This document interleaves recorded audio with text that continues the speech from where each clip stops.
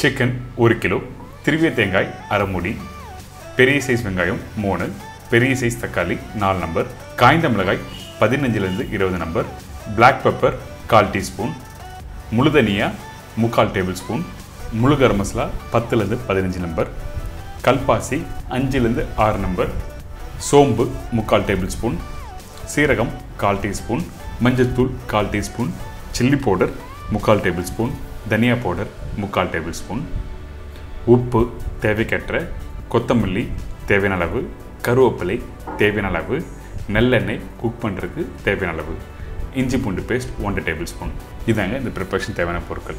நம்ம இன்றைக்கி பார்க்க போகிறது ஒரு காரசாரமான செட்நாடு சிக்கன் செட்நாடு சிக்கன் சொன்னோன்னே எல்லாருக்கும் ரொம்ப பிடிச்ச ப்ரிப்பரேஷன் ஏன் கேட்டிங்கன்னா அதை தேங்காய் அந்த ஸ்பைசஸ் எல்லாமே மிக்ஸ் பண்ணி அரைச்சி போட்டு சிக்கன் குக் பண்ணுவாங்க. அந்த செட்நாடு சிக்கன் தான் இன்றைக்கி நம்ம எப்படி பண்ணுறது பார்க்க போகிறோம் ஃபஸ்ட்டு மஞ்சட்டில் கொஞ்சம் எண்ணெய் ஊற்றுறோம் சோம்பு அரை டேபிள் ஸ்பூன் போட்டிருக்கோம். மீதி கால் டீஸ்பூன் சிக்கன் குக் பண்ணுறதுக்கு யூஸ் பண்ணுவோம். அதுக்கு பிறகு சீரகம் மிளகு முழு கரம் மசாலா காஞ்ச மிளகா. அதுக்கப்புறம் தனியாக யூஸ் பண்ணுறோம் கல்பாசி. கல்பாசி செட்நாடு சிக்கன் ரொம்ப ரொம்ப இம்பார்ட்டன்ட் அதனால நீங்கள் வீட்டில் செட்நாடு சிக்கன் பண்ணினா கல்பாசி இல்லாமல் பண்ண வேண்டாம். அடுத்தது கருவேப்பிலை. அதே மாதிரி இந்த கருவேப்பிலை காஞ்ச மிளகாய் கொஞ்சம் அதிகமாகவே நீங்கள் போடலாம்.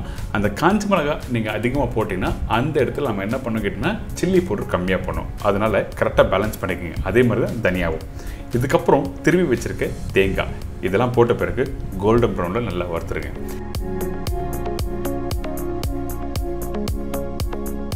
இந்த இடத்துல பார்த்தீங்கன்னா எண்ணெயே இல்லாத மாதிரி தான் இருக்கும். ஆனால் கொஞ்சம் லைட்டாக வறுத்து வர டைமில் எண்ணெய் அப்படியே மேலே வரும். உங்களுக்கு காமிக்கிறேன் பாருங்கள்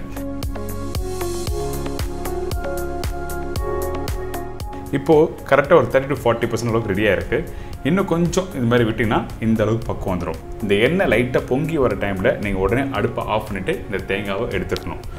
ஒரு ரெண்டு நிமிஷம் எக்ஸ்ட்ரா விட்டால் கூட என்ன ஆகுதுன்னா அந்த தேங்காய் கருக ஆரம்பிச்சிடும் கருகுனா அந்த பேஸ்ட் நல்லா இருக்காது இந்த கறிக்கு.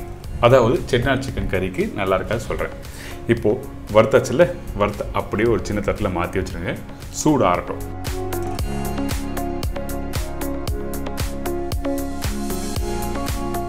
சூடு ஆறின பிறகு இந்த தேங்காய் எடுத்து பார்த்தீங்கன்னா நல்ல முறுமுறுன்னு கிறிஸ்பியாக இருக்கும். அதுதான் கரெக்டான பக்குவம். இதுக்கப்புறம் மிக்சி ஜாரில் போட்டு தேவையான தண்ணி ஊற்றி நல்லா அரைச்சிருங்க. ஃபைன் பேஸ்ட்டாக இருக்கணும்.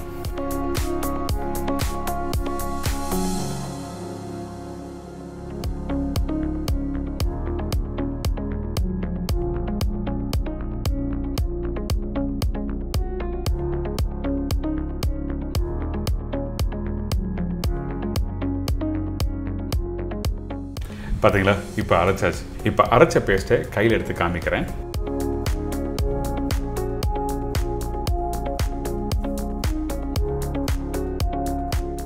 பார்த்தீங்களா இந்த அளவுக்கு ஃபைன் பேஸ்ட்டாக இருக்கணும். அப்போ தான் வந்து அந்த சிக்கன் கறியோட போட்டு சாப்பிடும்போது நல்லாயிருக்கும்.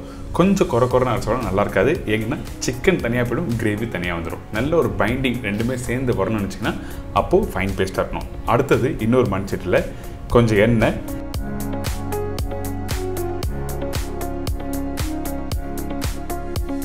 அதுக்கப்புறம் சோம்பு பட்டை லவங்கம் ஏலக்காய் இதெல்லாம் தாளிப்பு போட்ட பிறகு கட் பண்ணி வச்சுருக்க வெங்காயம். அதுக்கு பிறகு கருவேப்பிலை.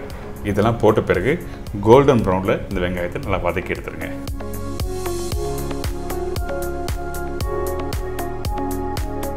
பார்த்தீங்களா இந்த வெங்காயம் நல்லா வதங்கியிருக்குல்ல? இதுக்கப்புறம் அரைச்சி வச்சுருக்க இஞ்சி பூண்டு பேஸ்ட் போட்டிருக்கேன். இந்த இஞ்சி பூண்டு பேஸ்ட் போட்ட பிறகு ஒரு ரெண்டு நிமிஷம் நல்லா வதக்குங்க.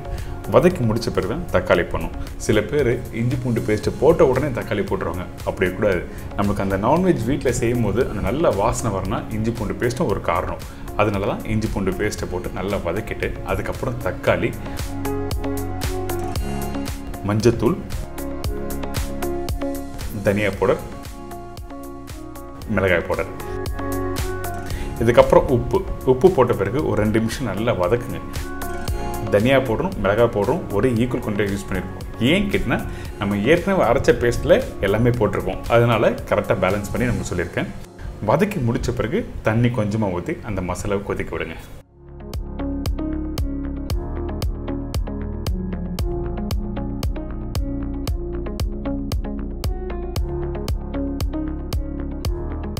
இந்த வெங்காயம் தக்காளி மசாலா நல்லா கொதித்த பிறகு கட் பண்ணி வச்சுருக்க சிக்கன் போடுறோம். இந்த சிக்கன் கொழுப்புலாம் எடுத்துகிட்டு வெறும் சிக்கன் மட்டும் போட்டிருக்கேன். அதாவது அந்த ஸ்கின் மேலே இருக்க அந்த கொழுப்பெல்லாம் முடிஞ்ச வரைக்கும் எடுத்திருக்கோம்.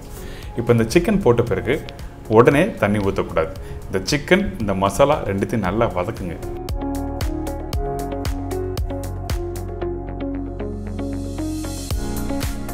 வதக்கி முடித்த பிறகு அரைச்சி வச்சுருக்க இந்த பேஸ்ட்டை போட போகிறோம் அதுக்கு முன்னாடி கொஞ்சம் கொத்தமல்லியும் போட்டுடுறோம்.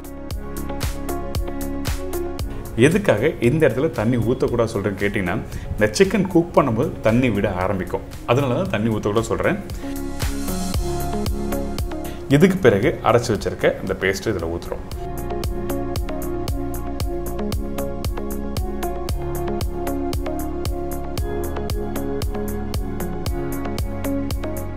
இப்போ இந்த பேஸ்ட்டோட இந்த மசாலா அந்த சிக்கன் எல்லாத்தையும் நல்லா மிக்ஸ் பண்ணுங்கள்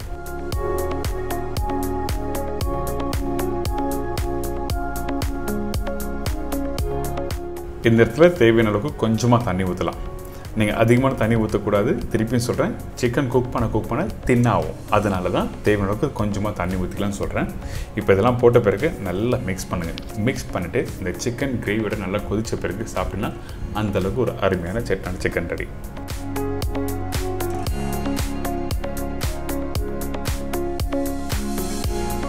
இப்போ நம்ம என்ன பண்ணுறோம் ஒரு மூடி போட்டு நல்லா கொதிச்சு வரட்டும்.